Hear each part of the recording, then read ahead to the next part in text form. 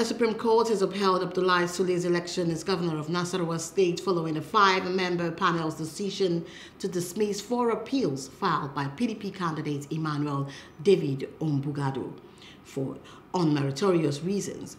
Justice Kudirat Kekeredu Ekun resolved all issues against the PDP and Ombugadu and dismissed their appeal.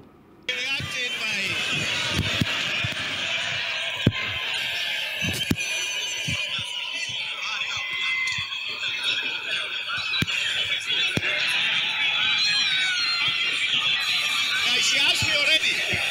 Uh, first and foremost, we thank Almighty Allah.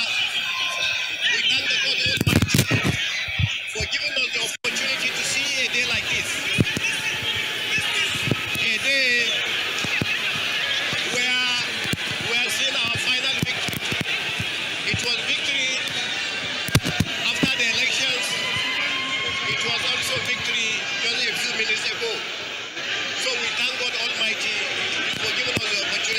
We thank the justice system.